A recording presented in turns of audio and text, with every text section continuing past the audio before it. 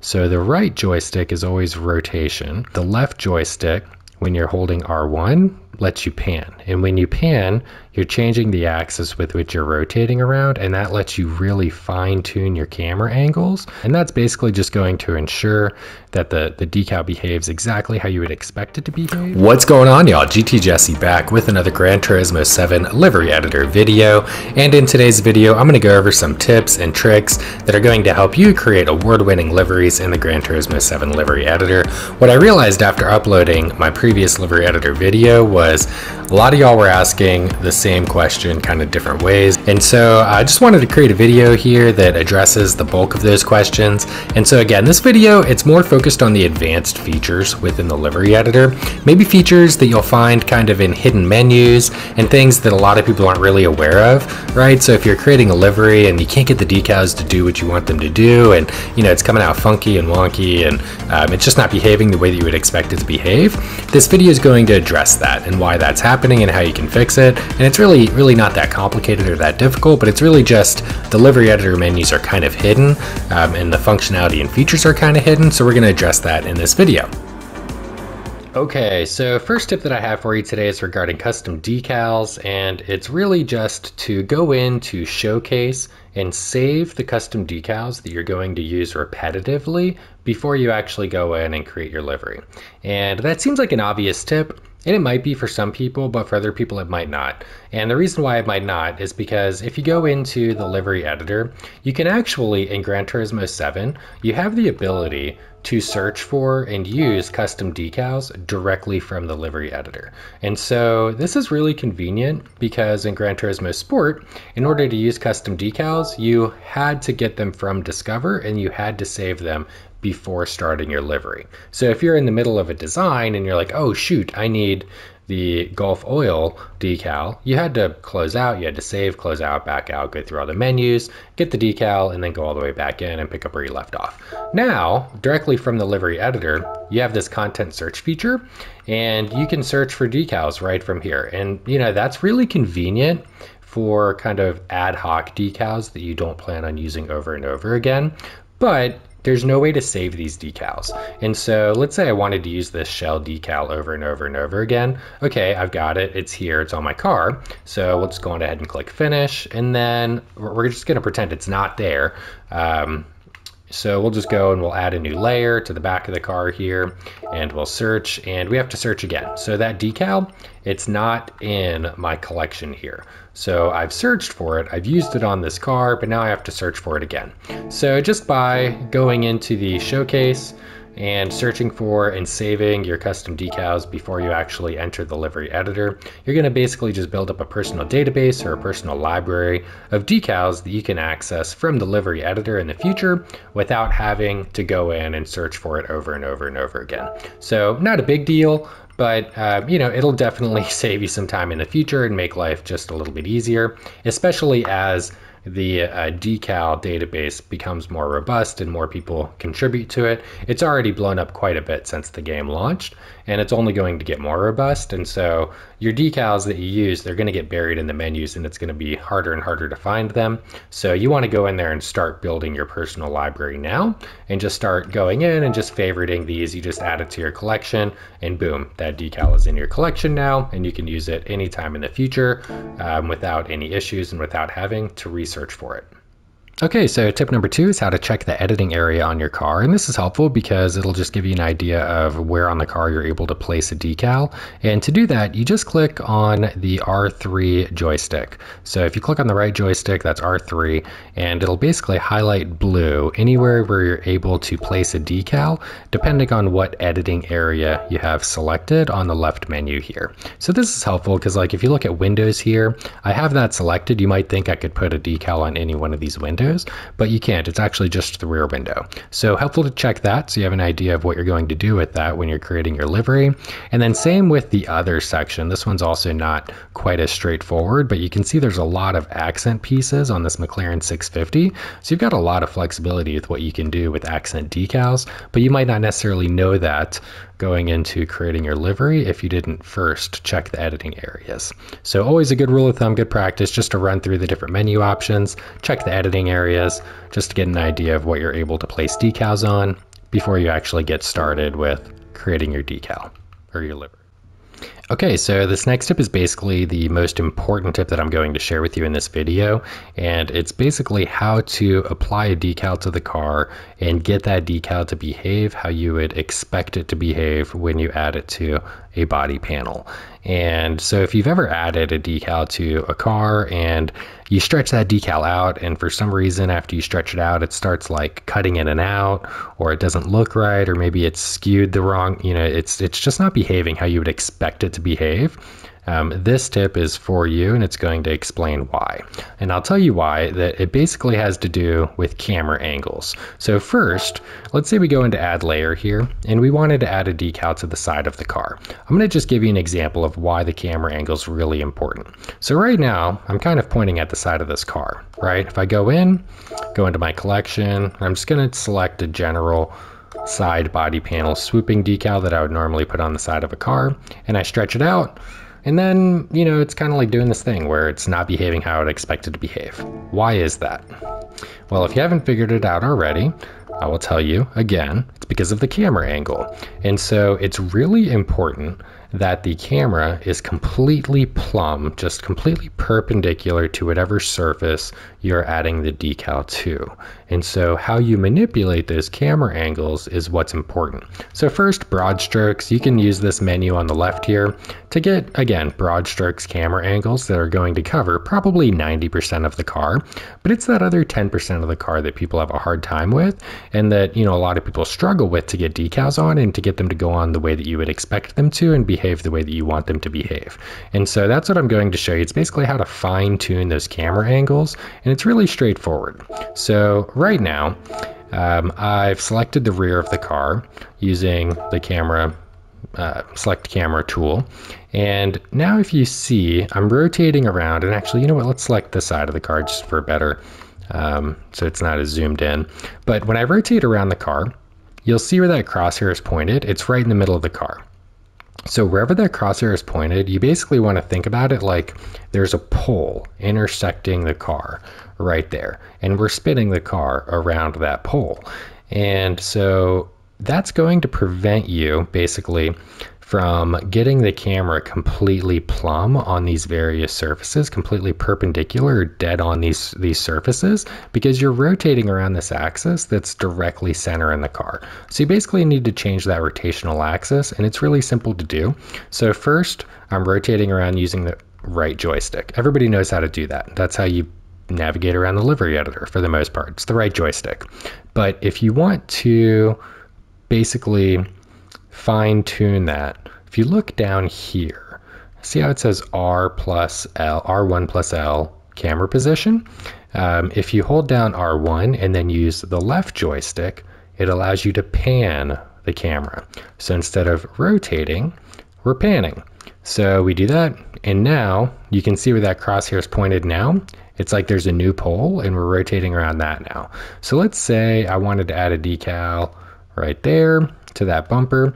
I would use that panning tool to do that and then R1 or I'm sorry R2 and L2 to zoom in and out and once I am basically completely perpendicular to that surface is the best as my as it's my ability I've got it completely plumb up against the car at that point I would go in and I would select my decal and we'll just see how that looks on the car when we add it.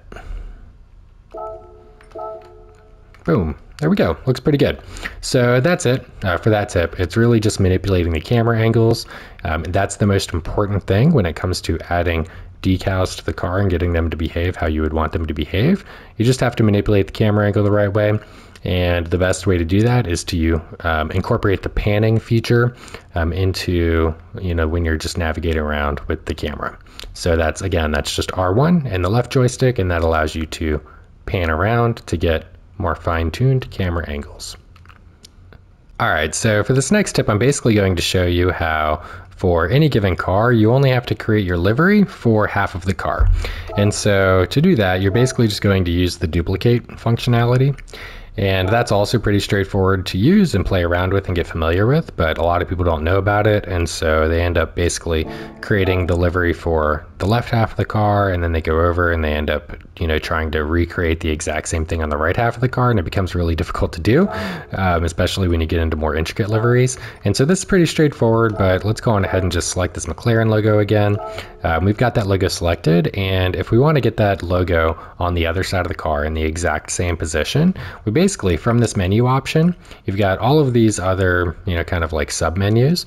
And so you want to go into layer controls and from layer controls, you've got duplicate, which is going to create just another layer right on this side. Um, or you also have duplicate on opposite side and duplicate symmetrically. So these are the two that you would be playing around with. And so if you select duplicate on opposite side, it's basically just going to, you know, kind of like mirror that decal exactly on the other side. And so this one's really important for uh, decals where something is spelled out like McLaren, um, where they're words.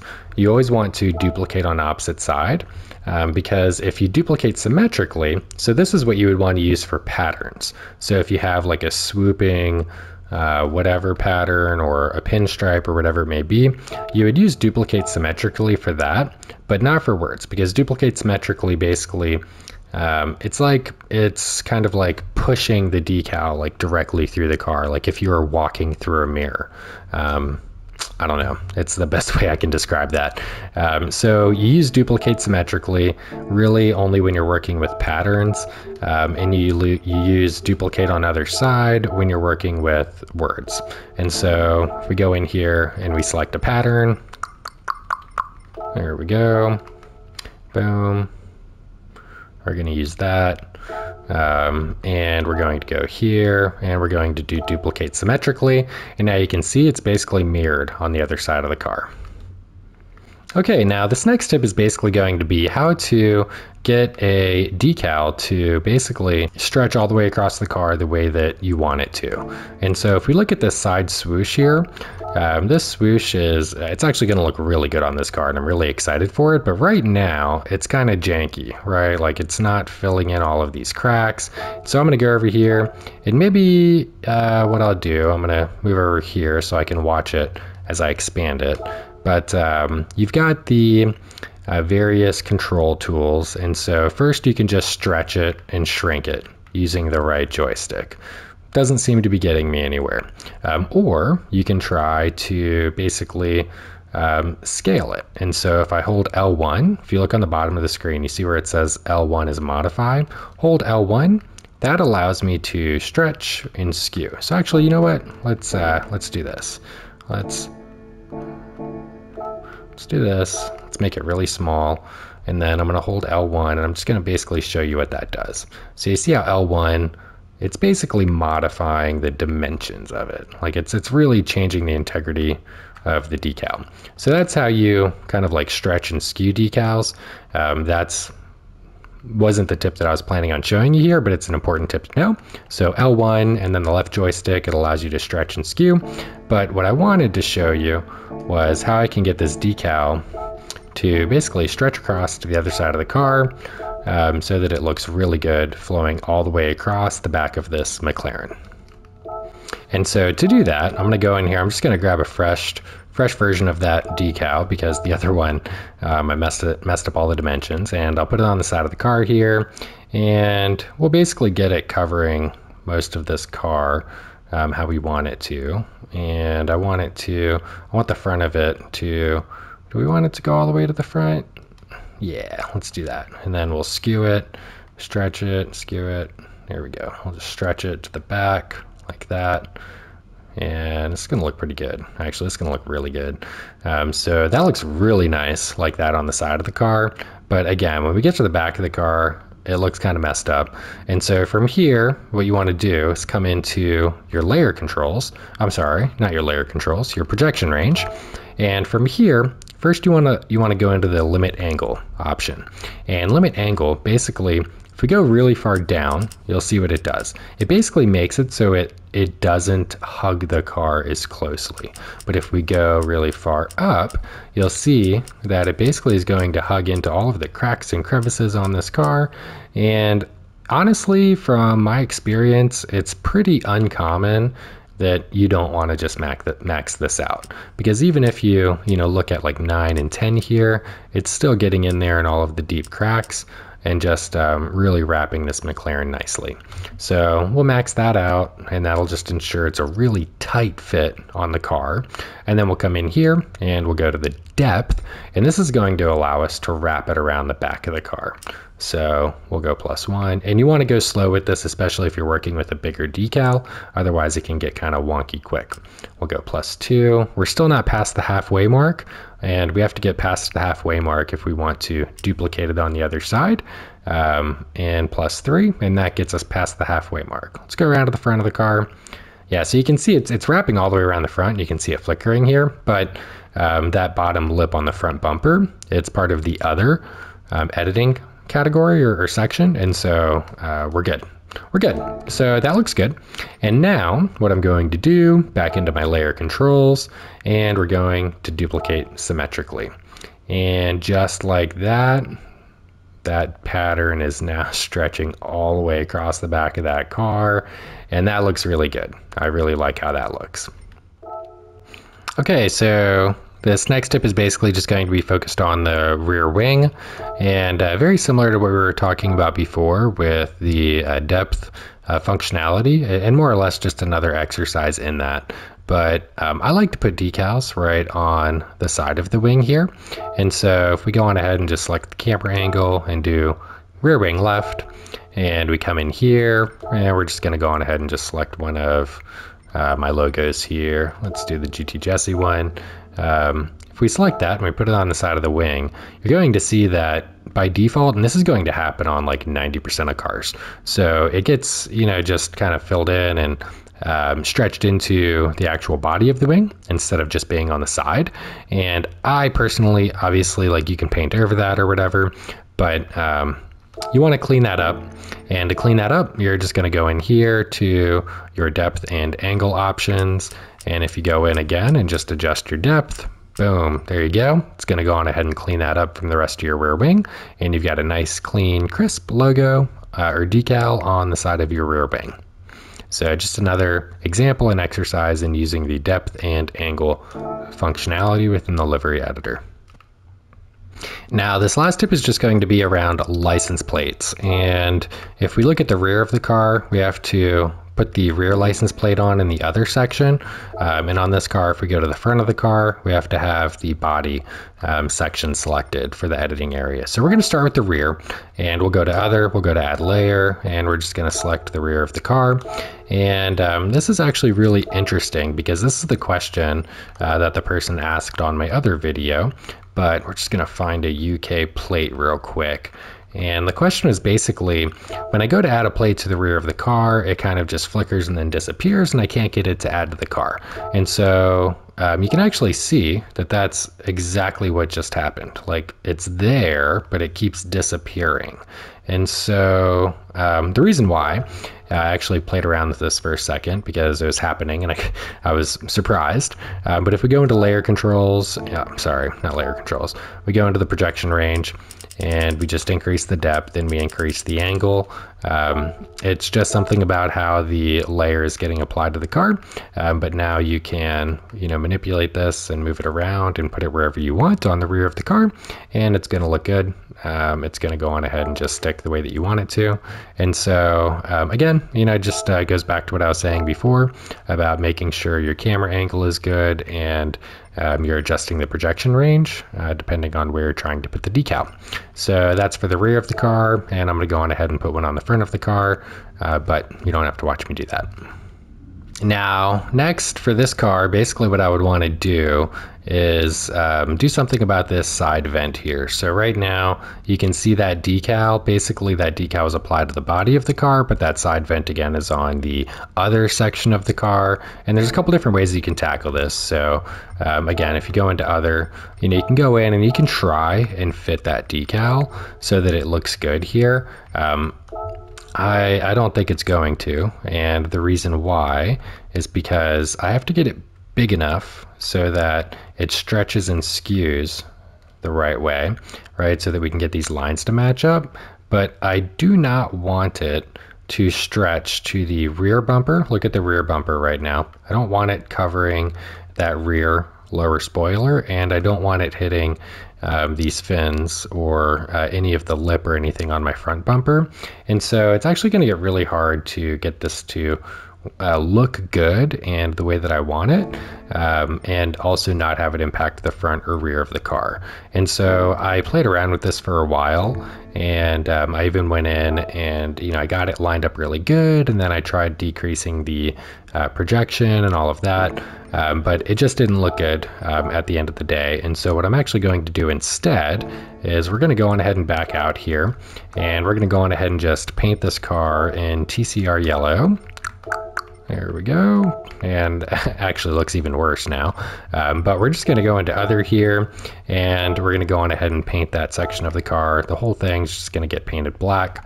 Um, I also want to actually do the hood black, side mirrors, yeah, black, and rear wing, we're going to do black as well. So now we've got the black, red, and yellow for TCR and that looks pretty good. Um, and then what we can go on ahead and do is go back into decals and go to other, and we'll see if we can find, um, actually I think we'll go into preset for this, and we'll just go into patterns, and we can see if we, we won't be able to just find a pattern that we can think this will work. Squeeze right in here, that'll look good. And Again, we're not looking for perfection right now. We're just looking for something that's like, eh, good enough, honestly. Good enough from a distance. That's what we're looking for.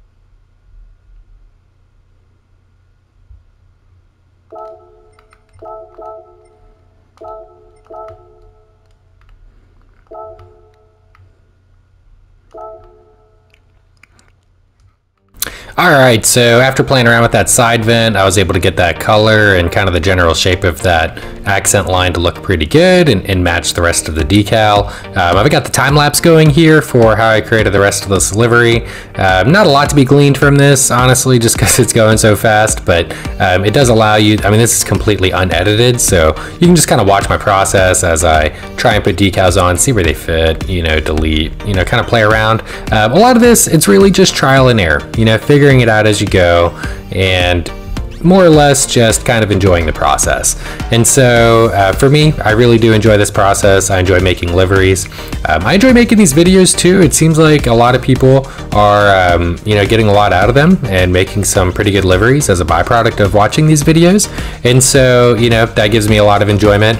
Um, honestly, uh, there's some days, there's nothing I like more than just kicking back, and uh, messing around on here, making some liveries, sharing them, and then you know seeing the feedback from the community after you share a really nice livery.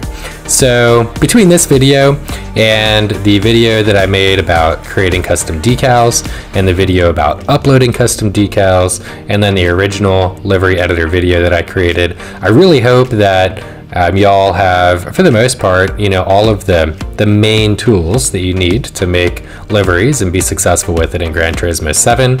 If you have any other questions, don't ever hesitate, reach out, drop them in the comments below. I'm always happy to uh, converse and, and talk about different techniques and tools and what works best for, for you and uh, you know, just to hear different people's input. So again, thanks again for watching. If you did like the video, please do hit the thumbs up button and subscribe to the channel. But uh, otherwise, we'll go on ahead and just let the uh, rest of this time lapse play out. And um, yeah, have a great day. We'll, we'll catch up next time.